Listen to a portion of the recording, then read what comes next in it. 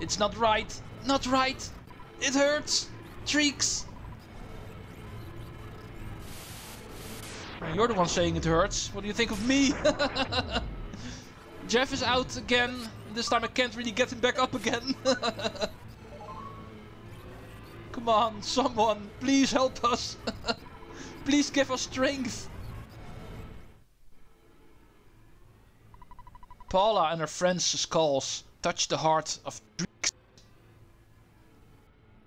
Treeks prayed for the kids, having never even met them before. Wait. Treeks? The actual player Treeks? Me? kept praying. 7000 HP of damage.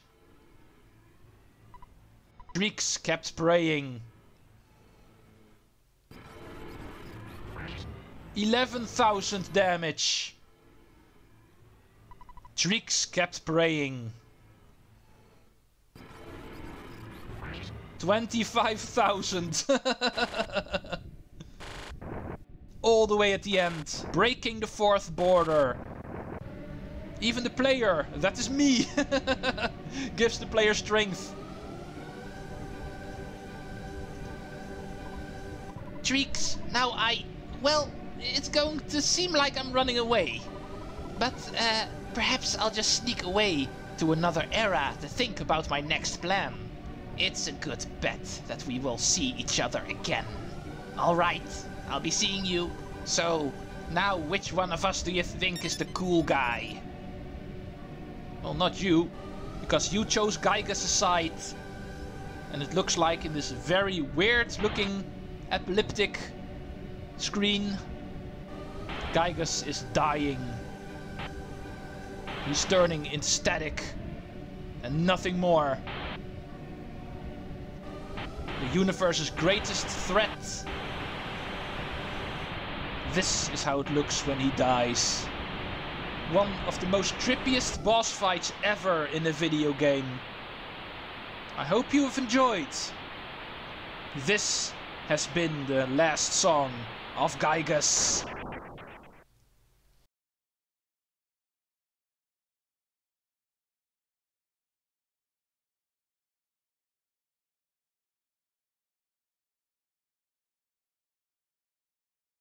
Hey, it's our house.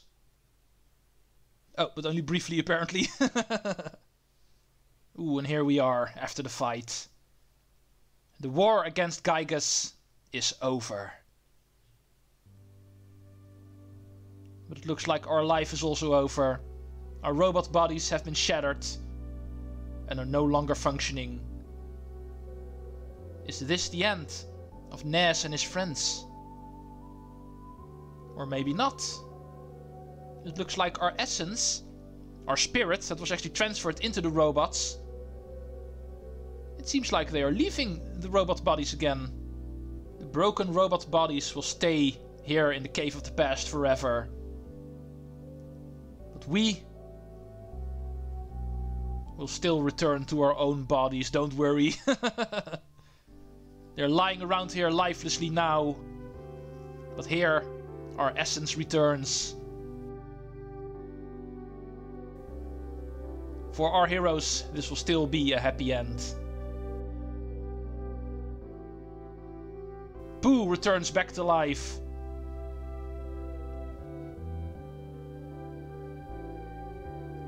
Our own little scientific genius, Jeff, back up on his feet. The only girl in our party, and magical genius, Paula. And Ness, going by the name of Trix during this Let's Play. He also returns to his feet. Our heroes are still alive. Our travels together end here. I must return to Dalaam and use this experience for the good of my country. Treeks, Paula, Jeff, let me demonstrate a strange power before I go. I realized this power as a child. PSI, farewell. now. I'll see you again someday. Whoosh. I'm pretty sure it was just PK teleport. and he leaves a couple of presents behind. Oh, awesome. Jeff? Paula, Treeks. It was great to hang out with you guys. It really was. I'm glad that I had the chance to use some of the theories that I've been studying so hard. It's remarkable. If just maybe well, if you two get hitched someday. what? Jeff, you're not that kind of guy. Maybe I'll be the one that actually fixes your broken electronic appliances. I'm going to stay here for a while and see if I can learn more from Dr. Andonuts. I mean, from my dad. So, it looks like this is a goodbye for now, my friends. Ah, Jeff and his father are finally back together. And they are going to work with the one thing they share science. Treeks, will you escort me home? Of course, I'll be your chaperone. Let's not uh, go with that too far. Let's not uh, take Jeff's words too seriously for now. We're still a little bit too young for that. I'll miss all of you, but I have to get back to being just a regular kid. Well, I gotta get going. Our party is back to two. And the final couple of presents in this game we can open up. A letter from Tony. Second present. Let's go see what we have. A letter from Mom. Ooh, interesting. And present number three is a letter from the kids. Three interesting letters. Let's see what they have to say. First, let's go see what our mom has to say. Dear Treeks, how are you? Since you left home on your journey, things have changed around here. For example, I don't have as much laundry. also, we don't seem to eat pasta as much as we used to. I heard that you defeated some universal evil character. What was it? Googie or something like that? Well, that sounds really great. I want to hear all the details, so hurry home, okay? Tracy, King and I are waiting for you. Love, Mama. Ah, interesting. Next letter. You have a letter from the kids. Dear Paula, how are you doing? I'm fine. I'm fine too. So are me. Uh, these kids still need to learn some English, I'm pretty sure. Grammar's not really correct here, I think. Me also. Me okay. Please come and play with us again at the Polestar Preschool. Oh yeah, one more thing. Bring us some presents, if you have any. Sincerely, your friends at the Polestar Preschool. Where apparently learning English is not an important thing. Let's go to Tony's letter. Dear Jeff, everything's really going great here. I wish I could have gone with you on your adventure, even just part of the way. But instead, I'm sitting here, waiting for you in Winters. I want to see you again as soon as possible. I can't wait to see your cheerful face. I bet your glasses are dirty.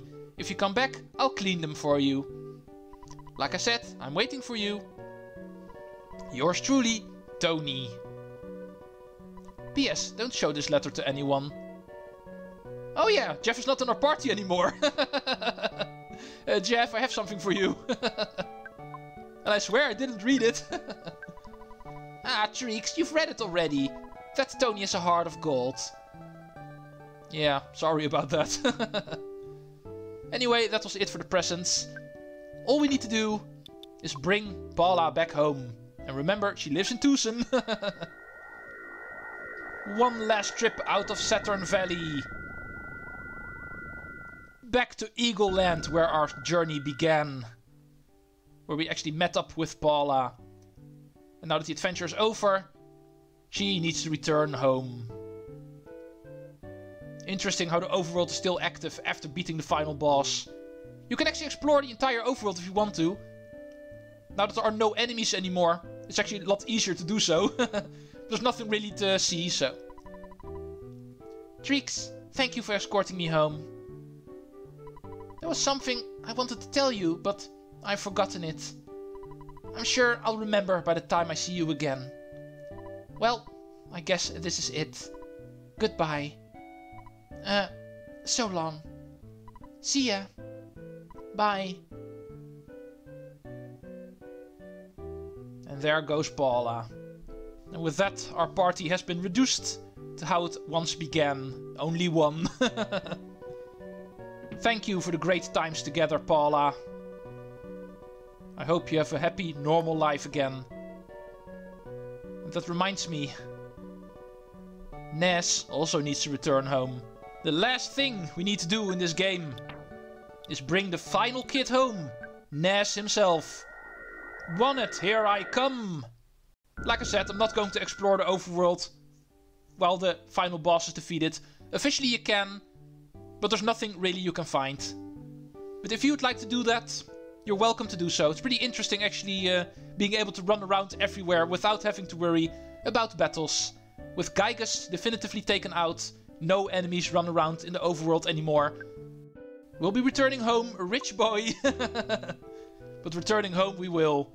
The overworld has been cleaned out. It's time for us to return to our normal life as well. Let's call our dad as well. We have not um, spoken to him a lot during the Let's Play. to get to the next level, I guess I don't need to tell you this anymore. Next week will be your birthday, Treecks. I'm trying very hard to be home for that big day. I'll be sure to get you a good present. I've been following your adventures closely, but I want to hear about them from you in person. You sound a lot more mature over the phone. Well, I'll see you at home then. Bye. Thanks, Dad. I'm sorry I did not save the game as much with you. but now, Mom. Wow, you've become such a strong young man. I'd like to hear all of your stories. But I don't want to annoy you as soon as you walk through the door. After all, your chats with the people you have met on your adventure are finally over. Please come back here. The photo man has actually brought an album by. And I'd like to look at it with you. Ooh, a photo album. Did you finish doing everything you wanted to? Yes, the game is over. Okay, now you can finally share your incredible experiences with me. And you did so well.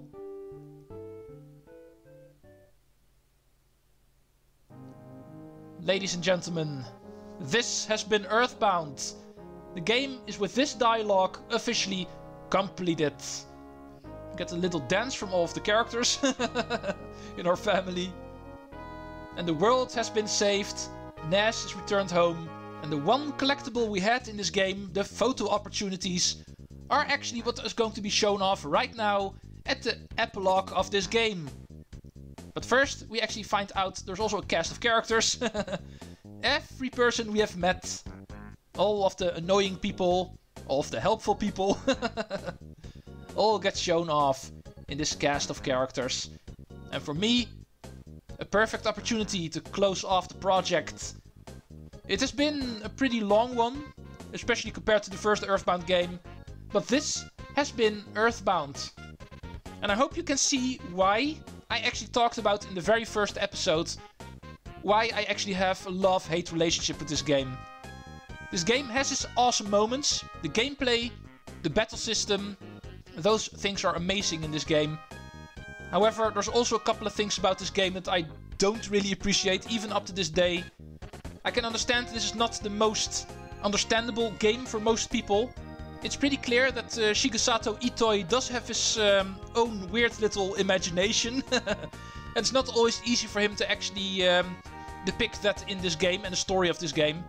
And the fact that it needed to be translated into Western standards was also not always easy, but they did do it in a very good way, I feel. So I can definitely still appreciate the game.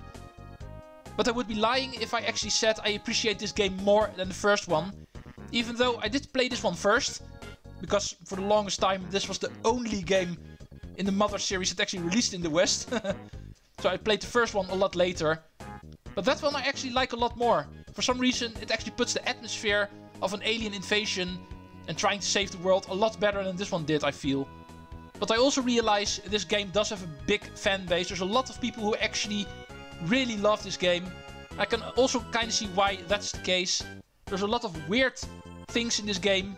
So weird, in fact, that it actually helps with the humor of this game. The Japanese humor that is um, very present in this game.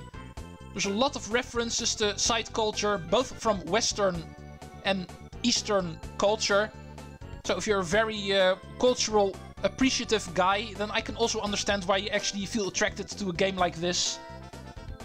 This has been my attempt to try to cover Earthbound. Gameplay-wise, pretty successful, but in all honesty, the game's also not really that hard. If you compare it to Earthbound Beginnings in that sense, this game is balanced a lot better, I feel. That much I can give to this game. Unlike Earthbound Beginnings, I feel the battle system has way more balance in this game. And because of its longer length and therefore being able to level up a lot more and learning more magic, I think the battle system also comes out better in this game. But story and uh, character-wise, I can't really agree on this game. That I feel the first game did do a little bit better. And also the general atmosphere was handled a little bit better in the first game. But this game definitely also has its strong suits. That said, I've been talking about Mother 1 and 2 quite often. But there is also a Mother 3. And if I ever get to Let's Play that game, that is kind of a question I can't really answer right now. Officially the game never released in the West, not even later, like Mother 1 did. But they might still release it later, so I can't really say that I don't own the game right now. In the future that might change. but for now, I must admit Mother 3 is not in my possession and therefore I'm not officially able to cover it. But that is a story for later. Let's talk about Mother 2 first. Here we can actually find all of the photo opportunities. We did not meet this guy all over the world for nothing all of the photo locations you have found during your adventure are going to get shown off right here, which can therefore also be used as a memoir of our adventure. Let's go down this nostalgia trip together.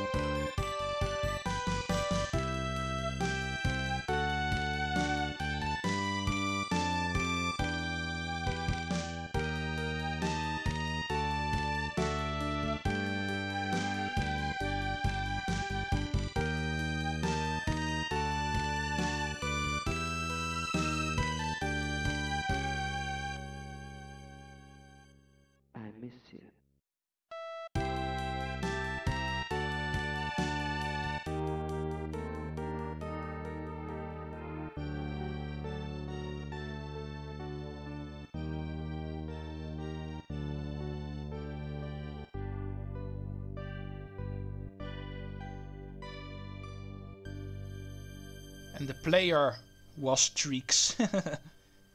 the whole reason why the game actually prompted you twice in order to input your actual name as the player, both for the Giygas fight, the final prayer coming from you, and also to show off right here at the end, we were the ones to play this.